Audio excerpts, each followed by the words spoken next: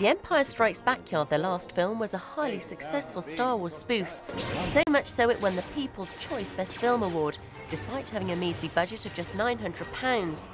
It was certainly a feat, given that they were competing against films produced across the world, which cost up to £20,000. This year, Doom Raiders has come to Cyprus, a parody of the Indiana Jones trilogy.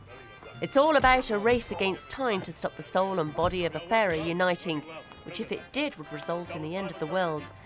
Again, the budget was minimal, but despite this, they still managed to achieve some remarkably innovative high tech. The plot on that was devised by Backyard Productions. We um, then all get, sit around together, or over the internet sit around um, and discuss the plot, fine details, and we write the script together, bash the idea. It takes about three months of arguing to, uh, to get it sorted out.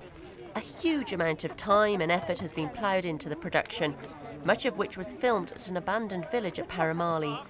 The core members of the cast are based in the UK, and all 15 of them flew out especially for the two week filming stint. I basically play a multitude of roles. Um, I play Mustafa in the, in the film, uh, Bradley Stone's close friend and guide. I also, on the technical side of things, do a lot of set building, set designing. I've actually been placed as lead set builder designer, so in charge of a, a team of sort of hard-working souls up to the early hours of the morning and getting up again at crack of dawn building everything you see in the village which wasn't already here. Obviously the set is not like we have here, there's so many props and that's why I've been coordinating, getting all the props in Cyprus that we can provide.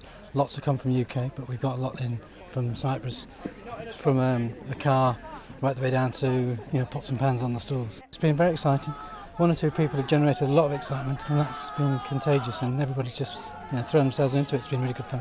Certainly the scenes were colourful, the costumes authentic and with horses trailered in from the local riding school, there was plenty of opportunity to shoot some effective action scenes.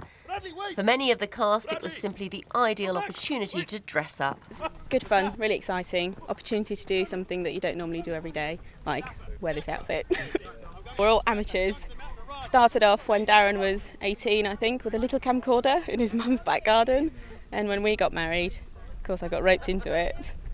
And we're still all a bunch of amateurs, though just doing what we're talented at.